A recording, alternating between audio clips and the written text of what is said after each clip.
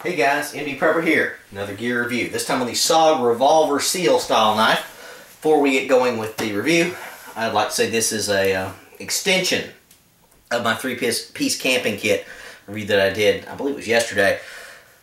Got this as well as the Fast Hawk by SOG and their entrenching tool. All of them for $40 total with shipping off of a uh, quick deal. So about $13 a piece per item, which I think is great for these things across the board.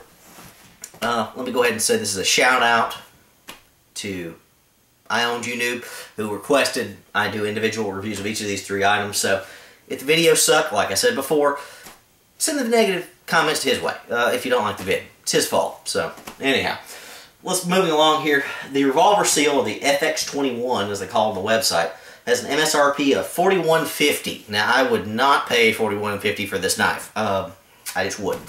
I think it's nice. I like it, but 41.50 is a bit steep. With the uh, deal I got, I paid about $13 for it if you divide it evenly between the three items or so. Well, 13.33333. But anyhow, uh, this is 440A stainless steel, glass reinforced nylon handle grips on it, very well textured overall. I think those are going to grip real, real well. The blade here is 4.75 inches total length here. The blade itself, along with the handle, is 10 inches overall. Basically, just a general purpose steel. Nothing special about it there.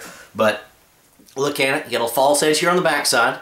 Got a decent cutting edge here, which comes quite sharp. I'm not going to put too much pressure on that. Don't want to cut myself. But um, right there, you see some serrations. Fairly decent. Flip it around. Ooh, it says SOG. Go figure. See an odd little hole there right about there. You wonder what the heck that's for. Kind of an odd place for a lanyard hole because it's not for a lanyard. Uh, lanyard hole's back here, guys. Um, his little Bohr style atom image there because I think this is their fusion line. Not entirely sure what just a basic atom has to do with fusion, being a chemist by training back in the day. But anyhow, would not use this for batoning, like I said in the last video. Uh, you said, well, I want my survival knife to be able to be used for batoning. Not in this case, you don't. Look back here, you get a little button. You can see that right there, hopefully. You push that button, rotate the blade. Oh, magically you have a saw. Uh, nice little sawtooth edge here. Got your bigger double-sided teeth, and smaller than that, at the base of each of those little teeth there, is a smaller tooth. I'm going to try to see if the camera can pick that up.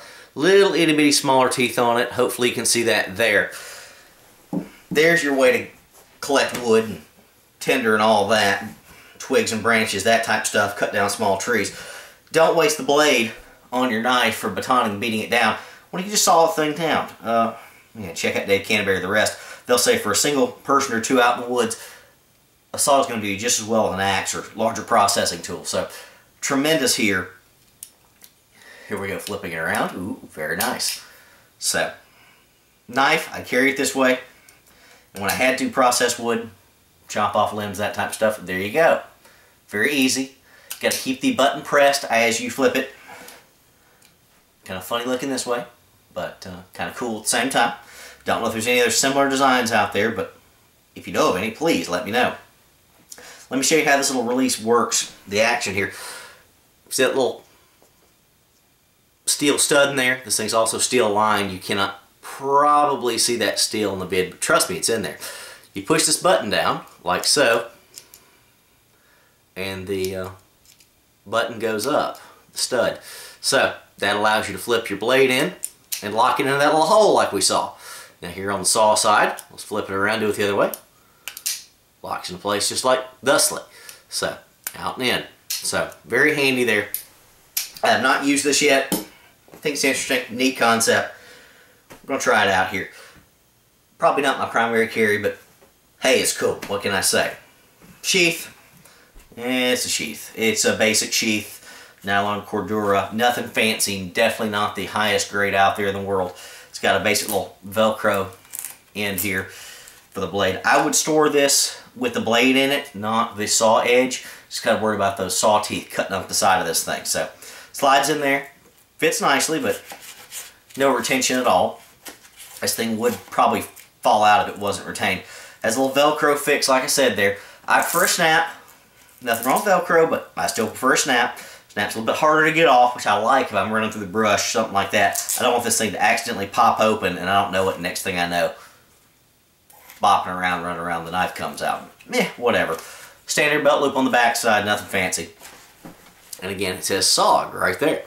So, decent blade overall. I'm trying to think if there's anything else I need to say about this. Like I said, it's 440A stainless steel, four and three quarter inch blade. With an MSRP of 41.50, I think this thing is a great steal at $13, which I got it for. Uh, looked online, they tend to run about 20, 25, something like that. I don't even know if I'd pay 20, 25 for it, but 13? Yeah, it's a steal. Nice little toy to play around with out in the woods or backyard, stuff like that. Anyway, that's the SOG revolver seal. MD Prepper out. Thanks, guys.